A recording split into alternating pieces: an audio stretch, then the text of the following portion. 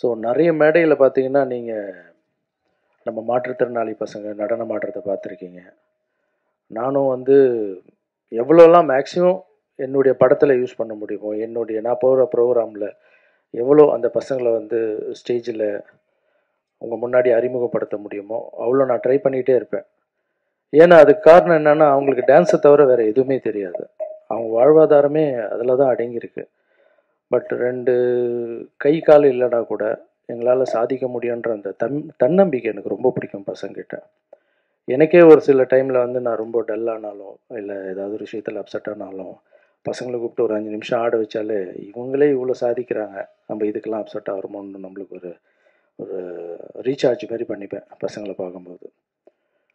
So இந்த பசங்க வந்து கொஞ்ச நாளாக பார்த்தீங்கன்னா பசங்க வந்து வாய்ஸ் எல்லாம் ரொம்ப டல்லாக இருந்தது. என்ன கண்ணான்னா நான் ப்ரோக்ராம்லாம் கொஞ்சம் கம்மியாயிடுச்சுண்ணே டான்ஸ் ப்ரோக்ராம்லாம் கம்மியாயிடுச்சு அப்படின்னு ஒரு ஃபோன் கால் அதுக்கு இல்லை கண்ணா கொஞ்சம் எப்போ பார்த்தாலும் ஸ்டேஜில் வந்துக்கிட்டே இருக்கணும் சினிமாவில் ஆடிக்கிட்டே இருக்கணும்.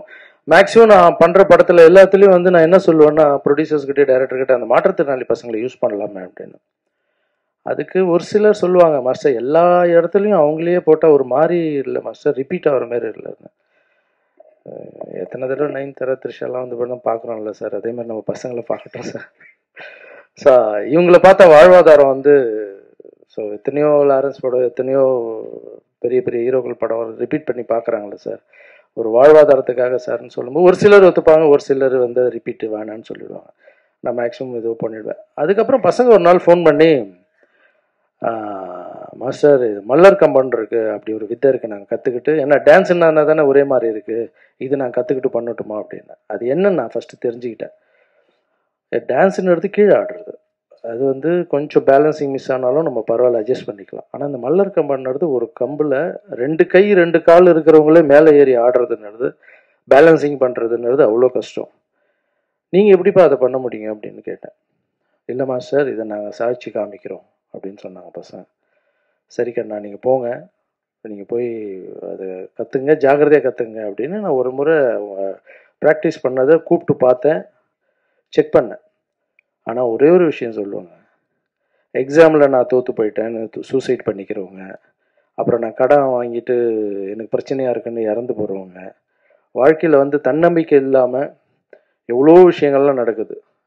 பட் இந்த பசங்களை சொல்லணுன்னா இவங்களுடைய தன்னம்பிக்கை நான் அதை பார்க்கும்போது இவங்கள பார்த்து நம்மளுக்கெல்லாம் கற்றுக்கணும் நிஜமாக அந்த மாதிரி சூசைட் பண்ணிக்கிறவங்க. இப்போ ரெண்டு கை ரெண்டு கால் எதுவுமே இல்லாமல் மேலே ஏறுறாங்க சாகசம் பண்ணுறாங்க என்னென்னவோ பண்ணுறாங்க இந்த உலகத்தில் வந்து கடவுள் வந்து ரெண்டு கை ரெண்டு கால் கம்ப்யூட்டர் மாதிரி ஒரு பிரெயின் எல்லாம் கொடுத்து கூட கடவுளை திட்டிகிட்டு இருக்கோம் நம்ம இன்னும் எதுவும் கொடுக்கல எதுவும் கொடுக்கலன்னு. ரெண்டு கை ரெண்டு காலு இல்லைன்னா கூட இவ்வளோ சாதிச்சு காமிச்சிருக்கானுங்க பசங்க. அவங்க வந்து ஆடி காமிக்கும் போது எனக்கு தோணுச்சு இவங்க என்ன வேணால் சாதிப்பாங்க இது கின்னஸ் புக் ரெக்கார்டு கூட போகிறதுக்கு வாய்ப்பு இருக்குடா அப்படின்னு எல்லாரையும் கட்டி பிடிச்சி நான் ரொம்ப ஹாப்பியாக ஃபீல் ஆனேன். பட் அது வந்து நான் மட்டும் அந்த அந்த சந்தோஷத்தை இல்லாமல் அது உங்கள் கண் பார்வைக்கு மீடியாவுக்கு முன்னாடி எடுத்துகிட்டு வந்தேன் இந்த ப்ரெஸ் மீட்டுக்கு காரணமே என்னன்னா இந்த பசங்களுக்கு நிறைய ப்ரோக்ராம் கிடைக்கணும். இவ்வளோ கஷ்டப்படுறாங்க. ஸோ உங்கள் வீட்டில் கல்யாண நிகழ்ச்சிகள் நடக்கலாம். இல்லை காலேஜ் ஃபங்க்ஷன் நடக்கலாம். இல்லைனா வந்து அரசியல் நிகழ்ச்சிகள் நடக்கலாம். இல்லைனா கோவில் ஃபங்க்ஷன்ஸ் எவ்வளோ கலை நிகழ்ச்சிகள் நடக்கலாம். அதில் எங்கள் பசங்களுக்கு ஒரு வாய்ப்பு கொடுங்க. நீங்கள் அப்படி ஒரு வாய்ப்பு கொடுத்தீங்கன்னா எந்த ஃபங்க்ஷன்லாம் நடக்குதோ அவங்களுக்கெல்லாம் நான் ஒரு வாழ்த்து சொல்லி என்னுடைய வீடியோ அனுப்புகிறேன் ஏன்னா அதுதான் அவங்க வாடகை கட்டணும். அதுதான் அவங்க லைஃப்பை பார்த்துக்கணும் இது மட்டும் இல்லாமல் தமிழ்நாடு ஃபுல்லாக நான் எப்போல்லாம் ஃப்ரீயாக இருக்கணும் ஒரு மேடை ஒன்று ரெடி பண்ணி எங்கெல்லாம் வந்து இந்த கலையை எடுத்துகிட்டு போய் ஏன்னா இது வந்து இது பாரம்பரிய கலை இது. இது வந்து அழிஞ்சிடக்கூடாது. அதுவும் இந்த பசங்க பண்ணுறதுன்றது ரொம்ப பெரிய விஷயம். நான் எப்போல்லாம் ஃப்ரீயாக இருக்கணும் பசங்களை கூப்பிட்டு தமிழ்நாடு ஃபுல்லாக ஒரு ஷோ பண்ணலான்னு பிளான் பண்ணியிருக்கேன் ஸோ இது மட்டும் பத்தாது. இந்த நிகழ்ச்சியை வந்து நீங்கள் மீடியா ஆட்கள் எடுத்துகிட்டு போய் எவ்வளோ சேர்க்குறீங்களோ அவங்களுக்கு ப்ரோக்ராம் கிடைக்கும். ஒரு பையனுக்கு வந்து நீங்கள் நம்ப மாட்டீங்க. கண்ணா நீங்கள் நீங்கள் பார்க்கணும்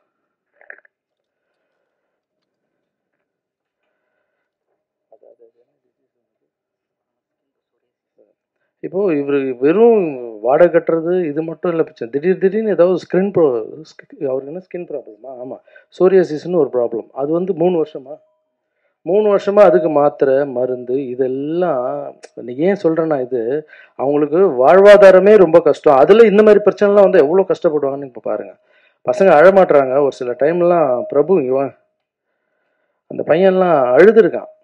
மாஸ்டர் என்னால் வந்து வாடகை கட்ட முடியல மாஸ்டர். ஏதாவது ஒரு மாதிரி இருக்குது மாஸ்டர். எங்களுக்கு பணம் இல்லை மாஸ்டர். ஏதாவது பண்ணுங்க மாஸ்டர் அப்படின்னு.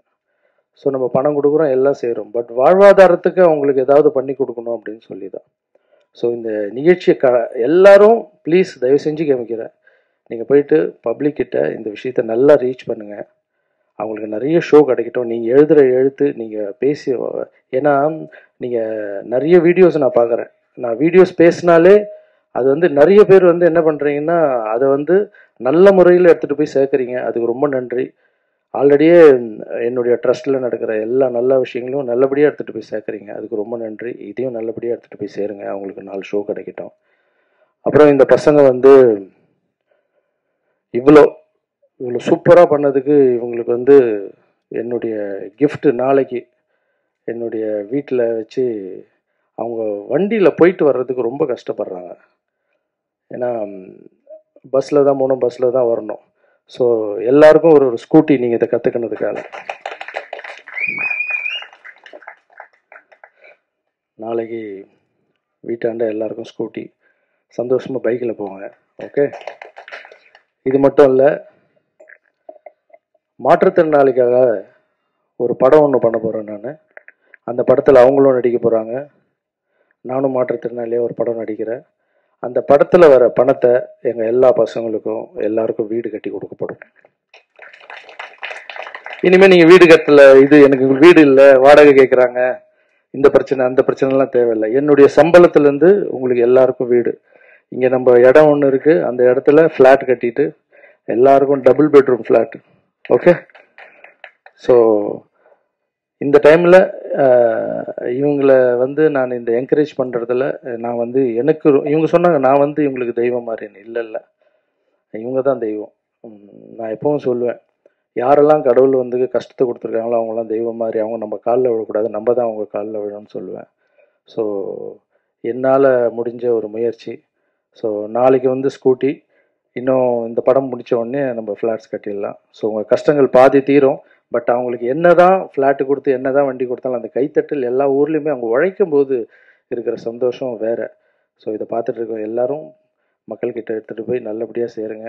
தேங்க்யூ தேங்க்யூ ஸோ மச் இங்கே வந்ததுக்கு.